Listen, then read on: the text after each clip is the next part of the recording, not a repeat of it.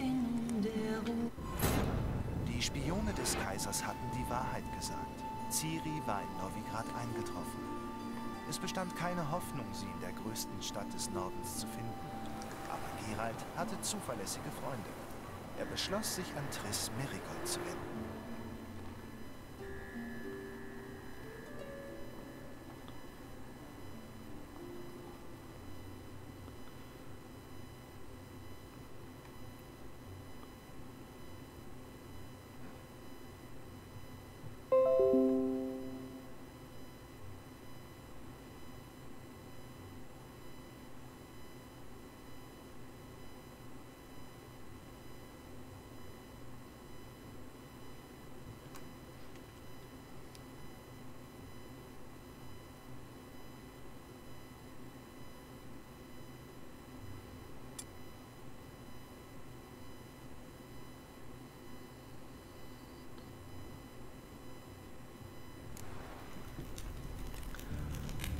Hallöchen ihr Lieben und willkommen in heute hoffentlich etwas bessere Qualität.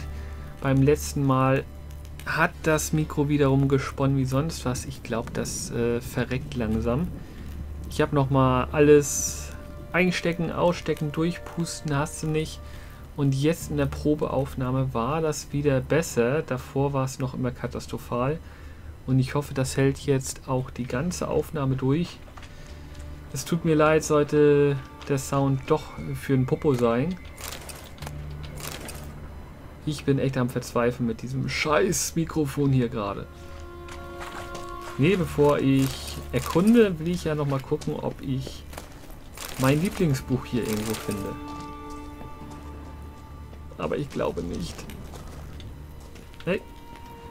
Oh, ach so, das war die, die ich am Anfang, glaube ich, geplündert habe in der letzten Folge. Na, dann eben nicht.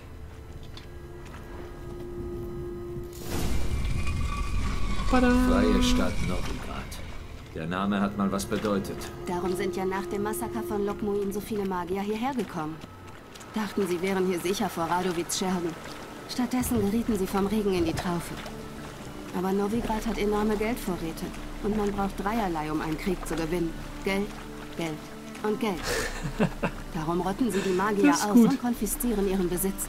Und als nächstes sind die Anderlinge dran. Die Elfen hausen in Elendsvierteln, aber die Zwerge kontrollieren Prakt. Och, nicht mit einem Wenn Satz. Wenn Split recht hat, liegt der Sack irgendwo hier unten. Wenn nicht... Der arme Kerl ist vergesslich, seit Menge ihn verhört hat. Ein Verfolgungswahn scheint er auch zu leiden. Der Sack muss seewärts getrieben sein. Ich schwimme zum Hafen. Kommst du rein? Vielleicht ein andermal. Du weißt nicht, was du verpasst. Das Wasser ist voller stinkender Öle. Das ist gut für den Tag. Ach, dieser Humor von Geralt. Den muss man gern haben. Ich wette, da sind auf einmal irgendwelche Viechers drin, die hier nicht rein können ins Wasser. Ah, nee, scheinbar doch nicht.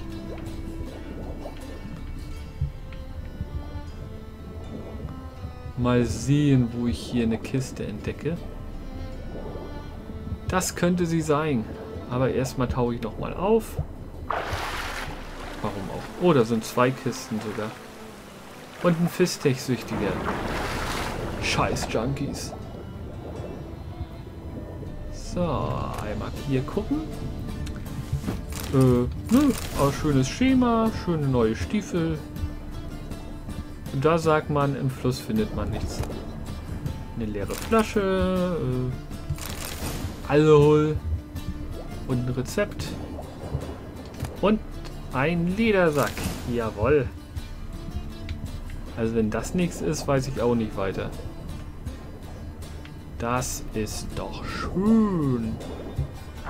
Aber genug getaucht. Triss will ihr Paket haben. Und wer bin ich, ihr das Paket mit den Ölen und Co., was da drin sein soll, zu verwehren?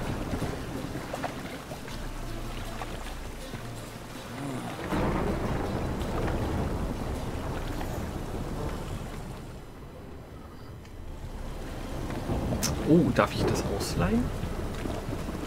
Zwielichtig, noch mehr zwielichtig. Verpiss dich. überhaupt zwielichtig. Und Triss wartet offenbar noch unten. Ähm, Wieder mal Regen. Plock.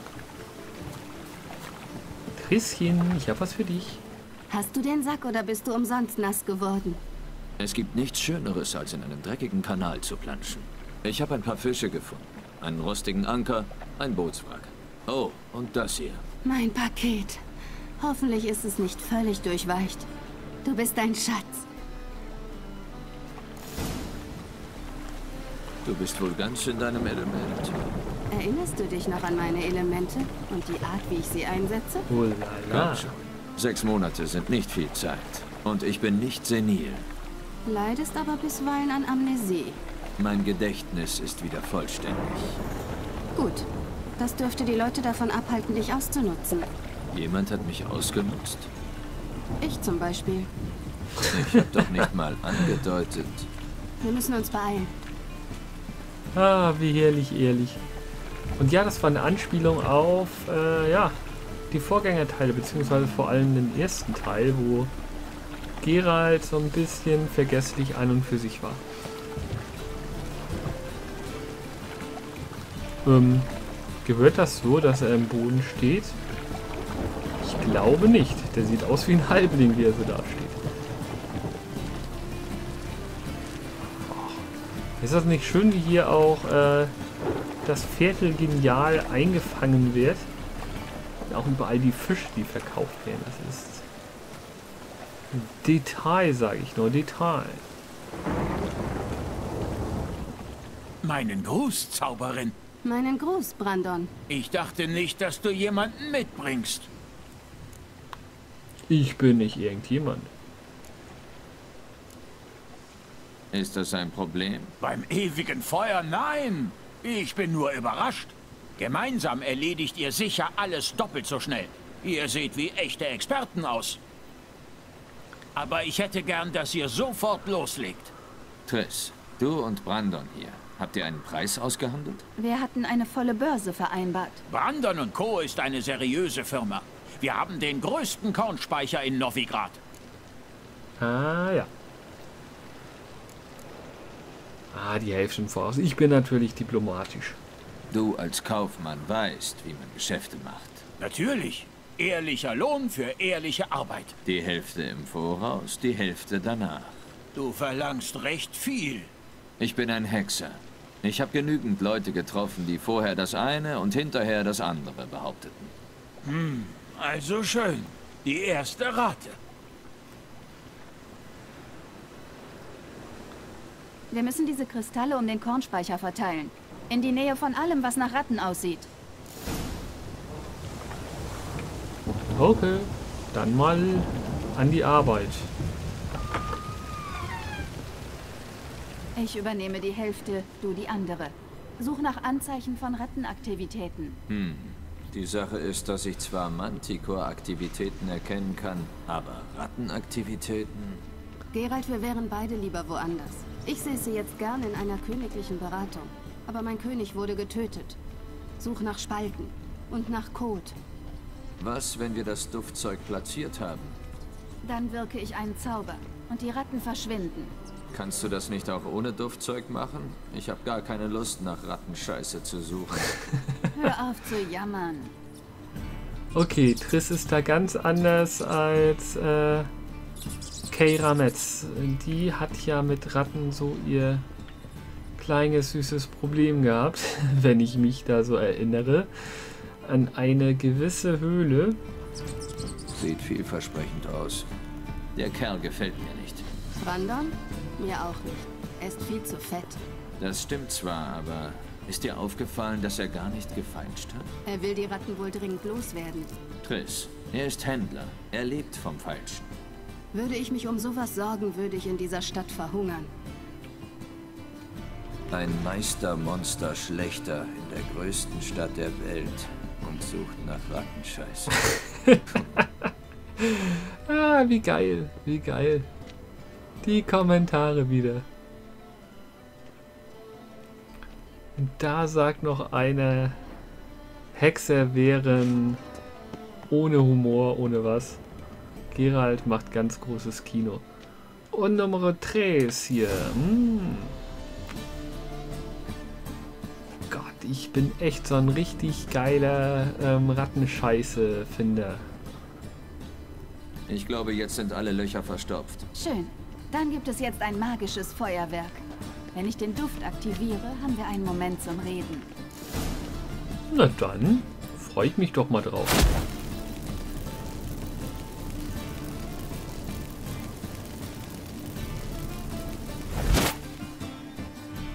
Das war's? Oder kommt noch was?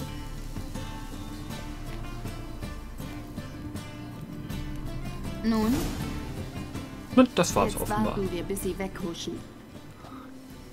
Interessante Methode. Ich hatte nie viel Glück mit Ratten.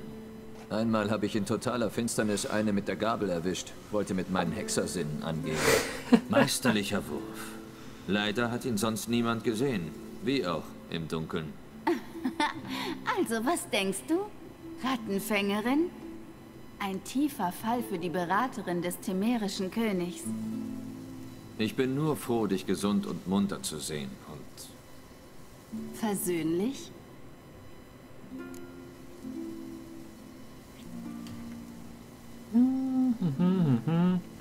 ich kannte mal einen, der auf alles mit Spott reagierte. Besonders auf Unglück. Gesunde Einstellung. Muss alt geworden sein. Eines Tages verlor er im Kampf beide Beine. Er zuckte mit den Schultern und sagte, dass sie ihn nie mehr schmerzen würden. Ich verstehe ihn sehr gut. Ich weiß, aber er hat sich in die Tasche gelogen. Ich glaube, er hatte einfach keine Wahl. Ach, die beiden sind echt so herrlich. Jeder lügt dann und wann. Aber sich selbst zu belügen, ist wie weglaufen, ohne eine Zuflucht zu haben. Manchmal ist Flucht die einzige Möglichkeit zu vergessen. Vielleicht hat dein Freund um seine Beine getrauert, aber davon sind ihm keine neuen gewachsen. Und? Wie geht es Yen? Woher weißt du, dass ich sie gefunden habe? Du hast meine Frage nicht beantwortet. Wie geht's Yen?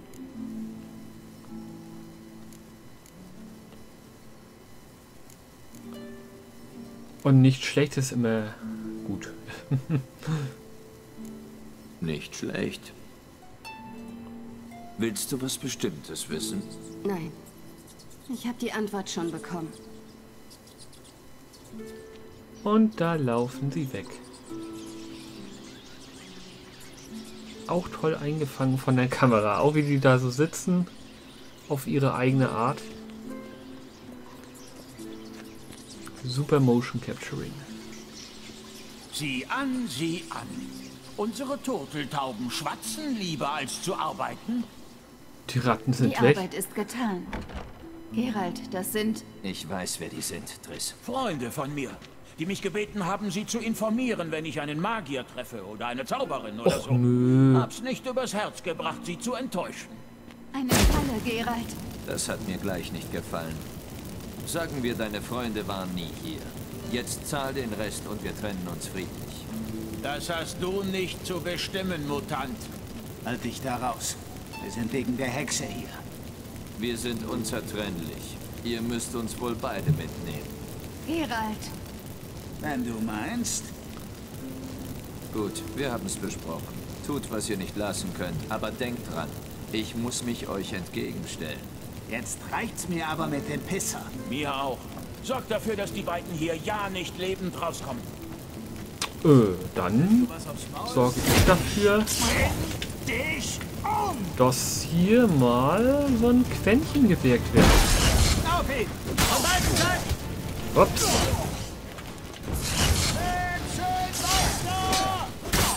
Und kaputt der erste. Kaputt der zweite. Und kaputt der... Da ist er ja. Dritte. Blaukerl hat mich angeheuert. In der Annahme, dass er nicht zahlen muss. Reingelegt wie ein Kind. Wärst du nicht gewesen. Wir müssen Brandon finden.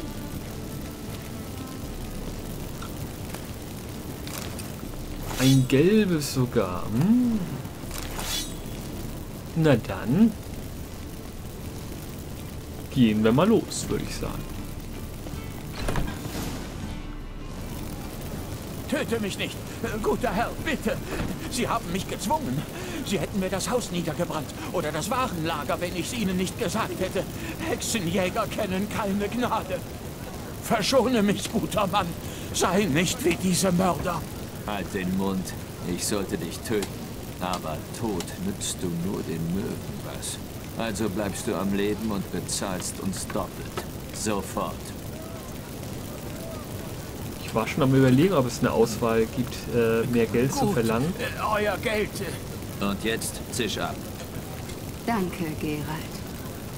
Äh, Triss sollte den Zauber besser mal beenden.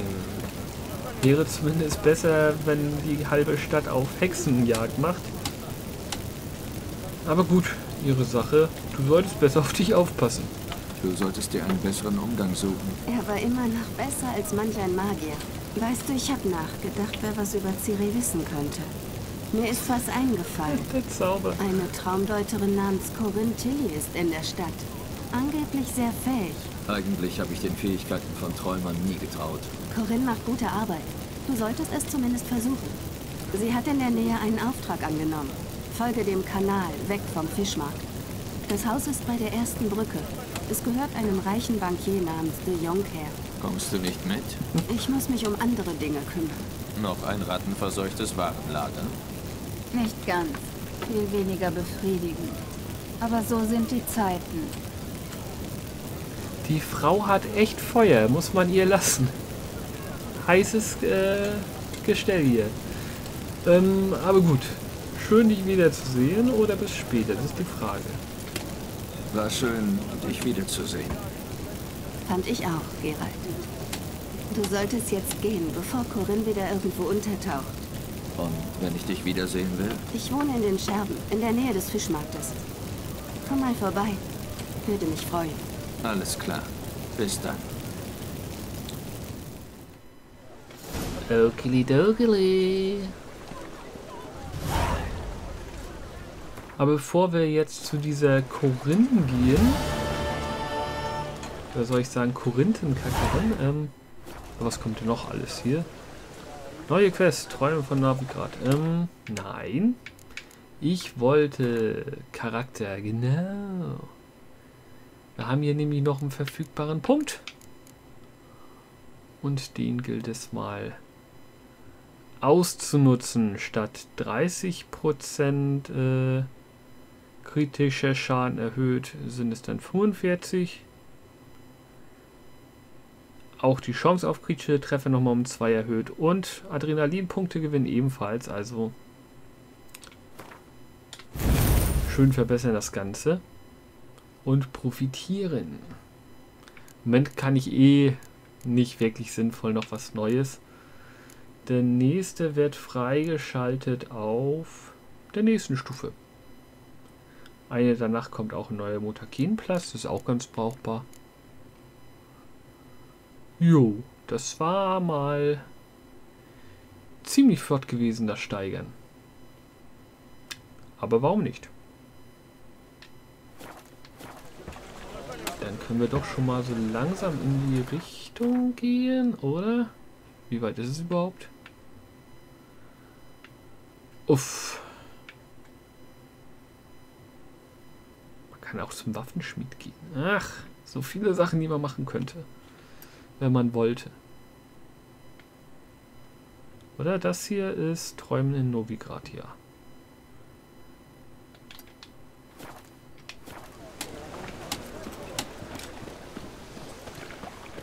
Dann wollen wir doch mal hingehen. Und auch hier einfach wieder eine tolle Architektur. Ich hasse die verdammten Huren. Ja, ja, aber er ist ein Mann von Hurensohn. Du beschätzt. Äh, nein, nicht wirklich.